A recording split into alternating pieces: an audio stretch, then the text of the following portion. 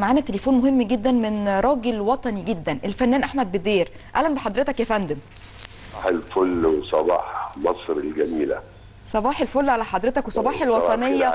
و... و... وخليني أعرف بقى أكيد حضرتك نزلت ودايما بتبقى من ال...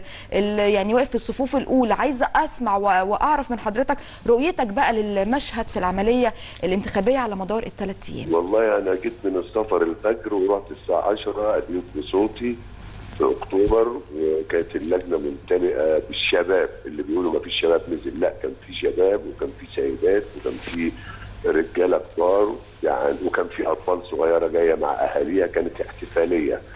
واللي اللي يقول غير كده دول ناس مغيبين سواء الجزيرة أو الناس الموتورة اللي القنوات. ولا في تركيا ها اللي بيحاولوا يشوهوا هذا العرس وبيحاولوا يشوهوا صورة المصريين هيفضلوا يعملوا ده لأن هم في حالة يأس حاسين قد إيه. قيمة الشعب المصري وقد إيه حماسه وقد إيه حبه للبلد وقد إيه فرحته.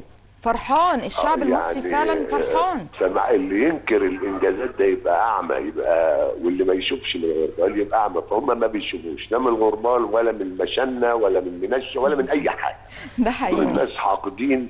وناس كل هدفهم يقول لك هننزل مش عارف آه، كان الأول يقول لك جمعة مش عارف إيه والناس كلها مش عارف إيه فيفشلوا آه، هننزل. مش عارف نعمل إيه في 25 يناير يفشلوا آه، ال- ال- التعديل الدستوري مش عارف إيه ما فيش ويعملوا لجان مش عارف إلكترونية وحاجات ويظهروا واحد بيتكلم مالوش غرض إلا إنه قابض وبيهاجم ف ويعني إحنا عندنا طب كل بقى الناس اللي بتهاجم دي سيئة جدا بس محدودة جدا وهتبقى في مزبله التاريخ ولا حد ولا يشعر بيها. حقيقي. اللي بيحس بوطنه هو المواطن البسيط والمواطن المثقف والعامل والفلاح والموظف. طبعا. كلنا حاسين بقيمة هذا الوطن وقيمة ما يفعله هذا الوطن لينا وقيمة جيشنا العظيم وشرطتنا وقيمة رئيسنا.